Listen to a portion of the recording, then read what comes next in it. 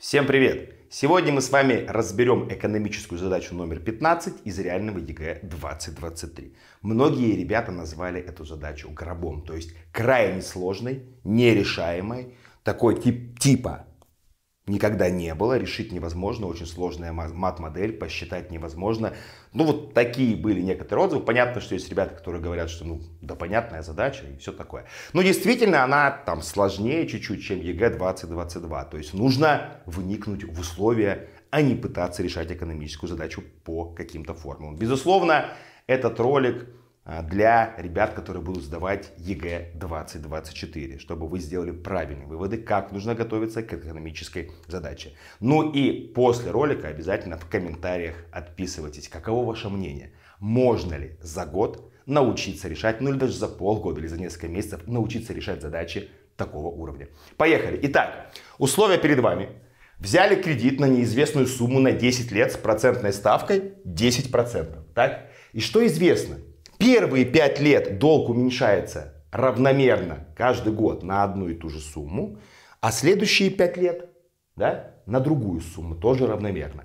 То есть мы где-то это слышали, это дифференцированные платежи, да, фактически, но можно даже не знать слово дифференцированные, можно просто понять условия. То есть это не равные платежи, да, это совершенно другая формулировка. Долг уменьшается каждый год, на одну и ту же величину. Первые 5 лет, а вторые 5 лет тоже на одну и ту же величину, но на другую. Здесь на одну, здесь на другую.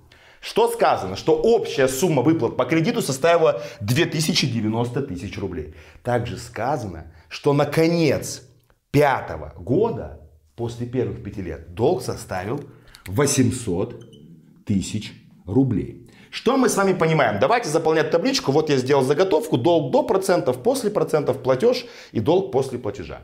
Смотрите, давайте думать. Если на конец пятого года долг 800 тысяч рублей, то на начало шестого года долг 800 тысяч рублей. Подождите. Но получается, вот эти 5 лет, начиная с 6 по 10, у нас все известно. Процентная ставка известна. Известно, что долг уменьшался на одну и ту же величину. И известна сумма долга на начало шестого года. Давайте подумаем. Если на начало шестого года долг равен 800 тысяч рублей, а на конец десятого равен 0 тысяч рублей. Ну просто потому что через 10 лет мы выплатили весь кредит, так? И долг уменьшался на одну и ту же величину. За 5 уменьшений 800 превратилось в 0. На какую величину уменьшался долг? Ну, очевидно, нужно 800 поделить на 5. Итого это будет 160 тысяч рублей. Значит, вот здесь долг каждый раз уменьшался на 160 тысяч рублей. Ну, тогда мы можем сразу посчитать общую сумму выплат в последние 5 лет. Давайте сделаем это. Просто распишем. Долг после начисления процентов. Это к 800 тысяч рублей прибавили 10%, добавили 80 тысяч рублей. Теперь в конце шестого года долг стал на 160 тысяч рублей меньше. Ну, то есть стал сколько? 640 тысяч рублей. Правильно? Хорошо. Чему была равна выплата тогда, как вы думаете? Вот смотрите, как мы работаем с дифференцированными платежами. Вот эти 80 тысяч рублей, это 10%, которые начислены на эту сумму.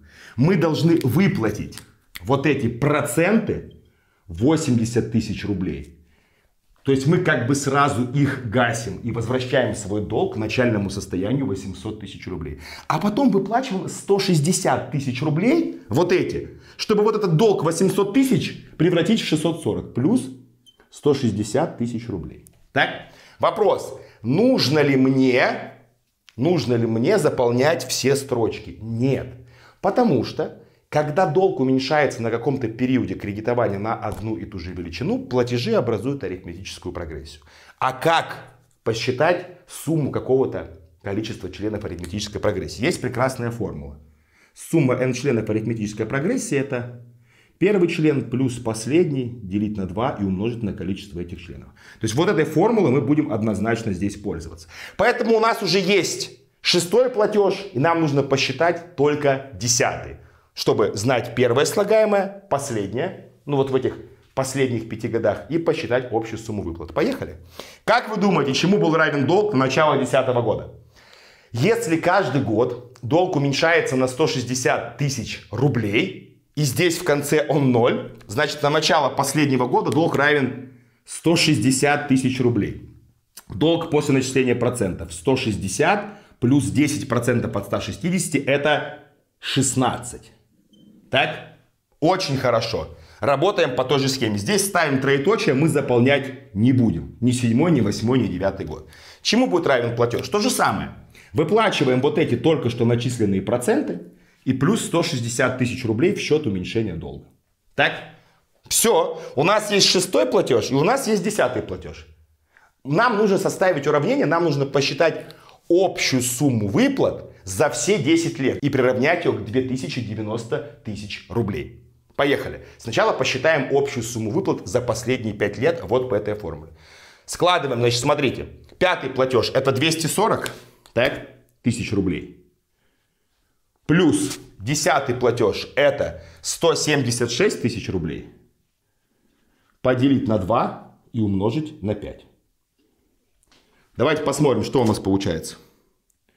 Это у нас получается 4 416 поделить на 2 умножить на 5.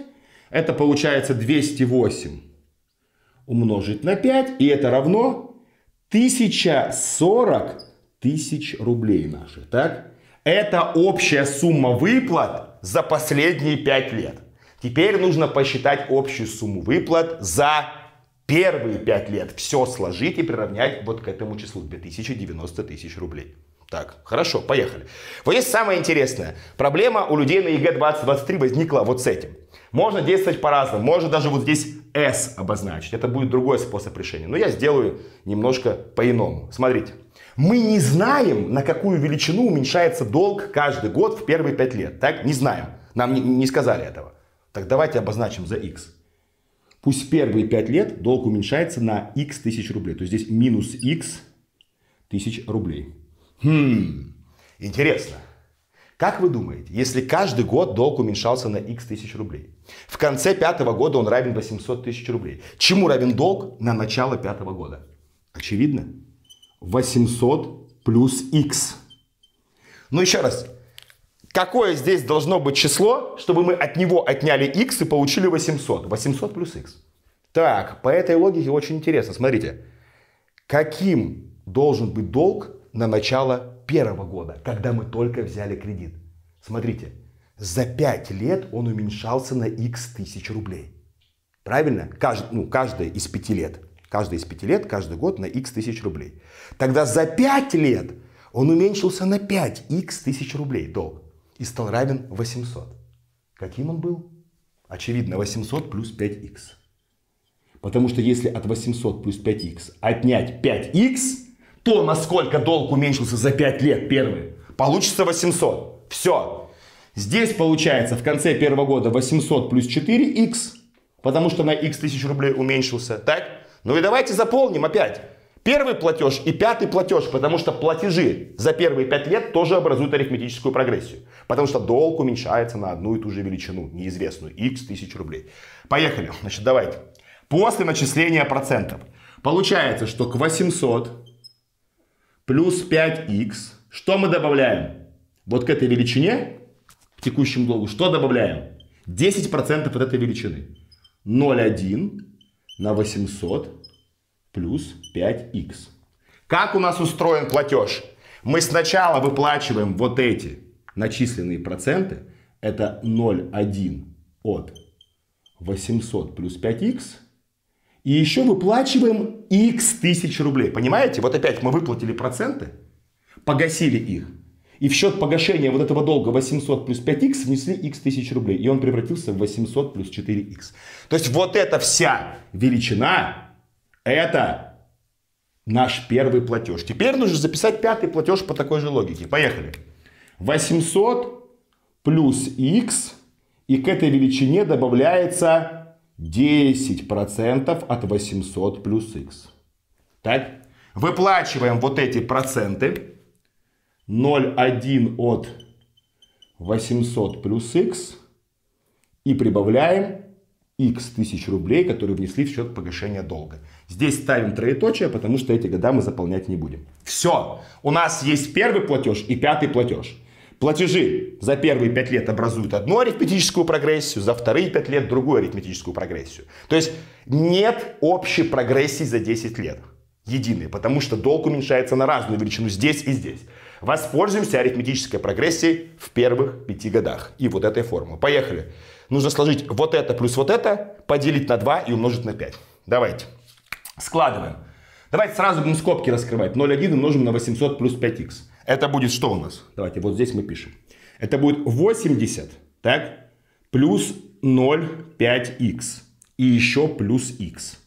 Раскрыли скобки 80 плюс 0,5х и еще плюс х. Здесь 80 плюс 0,1х, то есть вот это еще раз, это типа первый платеж. Теперь пятый. 80 а, плюс 0,1х и еще плюс х. Все это мы делим на 2 и умножаем на 5, потому что считаем сумму пяти членов арифметической прогрессии. 5, потому что здесь 5 платежей. Мы заполнили первый, пятый, второй, третий, четвертый не заполняем. Простые преобразования, скобки можно убрать. Давайте сложим. Что у нас получается? 80 плюс 8, 160. Плюс x плюс x 2x, 0,5x, 0,1x, 2,6x. Делить на 2, умножить на 5. Поделим каждое слагаемое на 2, получим 80 плюс 1,3х умножить на 5. Равно 400 плюс 6,5х. Все, это общая сумма выплат за первые 5 лет. А вот это общая сумма выплат за последние 5 лет. И в сумме все это равно 2090 тысяч рублей. Складываем. Вот это плюс вот это. Сколько получаем?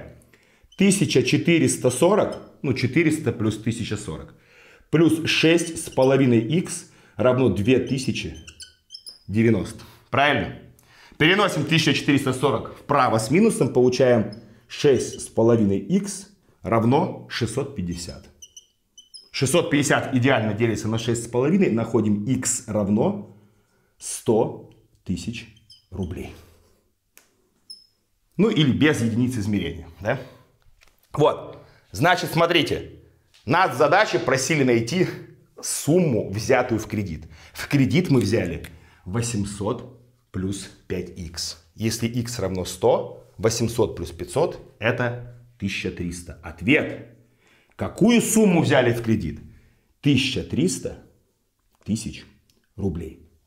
Да, задача не самая быстрая, не самая простая, но это же стандартная тема дифференцированные платежи. Просто их здесь два. Многие не додумались ввести вот эту неизвестную x. Но на самом деле можно было что сделать? Можно было что сообразить? Смотрите.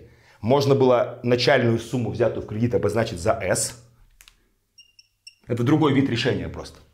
И если s за 5 платежей превратилась в 800, значит за первые 5 лет долг уменьшился на величину s минус 800 но он уменьшался равномерно, значит, как найти, насколько он уменьшался за каждый год из первых пяти лет? S минус 800 поделить на 5. На самом деле, это и есть наш x.